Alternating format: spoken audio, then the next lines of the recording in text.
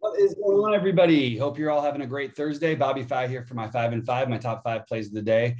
And as you can see, it's going to be a little different with baseball and basketball because we're going to be talking about game stacks and things like that. Let me know what on in the True DFS support channel what you guys would like the most. We're making a lot of great changes to the site with the partnership with SaberSim and everything. Things are really going along. So let us know what would be easiest for you guys to see. And um, in terms of the five and five, in terms of anything, and we're happy to make it work. Don't forget to like and subscribe. Check out the Discord channel if you haven't. All that said, let's get into tonight's slate. Um, so let's let's talk about this for a minute. Um, the we know that unfortunately the the chalk stacks do stand out the most. So I do have the the Dodgers, Chicago, Colorado, and then KC as a pivot stack. I don't mind if you want to mix in some Detroit or any of the Toronto uh, the Toronto New York game because I think those are the other spots that I would try to go after. But it is going to be hard to get at least you know a good portion of my lines without some of these guys in there. I really like the Dodgers. I'll take them over the other sides, and I think you can get lower ownership if you do a wraparound stack, which is what I'm planning to do with the Barnes, Lux, uh, Bellinger. At least it gets it a little bit lower owned, and then maybe you can find some other low owned plays to get elsewhere. I'm currently taking stabs with the Colorado, doing like two mans uh, some three mans, but mostly I'm probably going to be off of that um, as a stack, as a full stack, just because of the ownership on a slate like this. And I don't think you necessarily need to fully stack on a five game slate.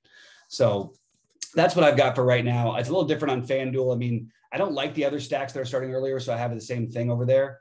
Um, but that's that's just sort of the stacks I'm focusing on. I could have put them at the top, but um, I just started with the pitching. Uh, I will be Buehler, Ohtani, Musgrove, Buehler, Morton uh, on DraftKings, Buehler, Morton on FanDuel. I, am not saying I won't mix in a guy or another guy or two, but those are my current plans to build that way, uh, especially because I want to use the cheap, lower owned Dodgers. And we have plenty of value in Colorado and Chicago already anyway. So I don't think I need to worry about spending down or how long my guy's going to go because paying that extra money is, I'm not, I don't feel like I'm sacrificing much in terms of uh, lineup construction. And then basically the other players are the same for me on both sites. Uh, Trout, Judge, Betts, Turner, I think are that's Trea Turner. Um, I think are your, your, spend ups on DraftKings on FanDuel, Trout, Judge, Betts, Soto. Uh, I, I, I like the idea of getting Trout at maybe a little lower ownership because of the Colorado game, but then again, it's a five game slate. How much can he really? How little can he really be owned?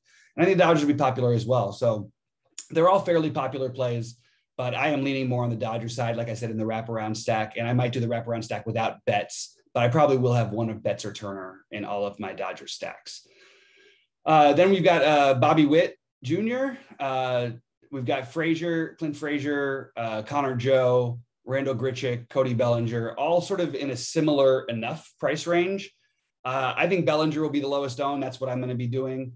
The other guys obviously stand out as being really good plays for their price. I'd, i think Bellinger and Witt end up as the two lowest owned. So that's probably what I'll end up doing. But I do like Frazier, Joe, and Grichuk quite a bit. It's just I mean, for the price, it makes perfect sense if you're playing cash games, play those guys. But for tournaments, I, I do want to get a little bit off of that chalk. And then we've got, um, for some reason, we've got an accidentally an, an, extra thing here, which I'm going to delete as we are on air here. Um, but I accidentally had my old ba- basketball one up there. But Merrifield, Bryant, Cron, and Muncy, now they're all similarly priced on DK, similar enough on FanDuel. I think these guys are really strong plays, and I have them ranked the way I like them as one-offs. But I think Muncy is a phenomenal part of a Dodger stack. Uh, those walks and, and everything don't you don't want a ton of them, but like if you can get the bomb and two walks and two other runs scored separately from the home run, like it, it does add up, especially on FanDuel. But that's who I have in the mid tier. I will be live at six Eastern. This is going to be a quick five and five. But guys, I hope uh, hope we can get this uh, MLB season kicked off. I've had some good days and some really a lot of not so good days, but uh, it should be getting better uh, as we find out more. And again, I always say, you know, be careful with the bankroll early in the season. A lot of things change that maybe we haven't caught on to yet. So let's make some money tonight. I'll be in the Discord all day uh, for True DFS. I'm BobbyFi saying good luck, everybody.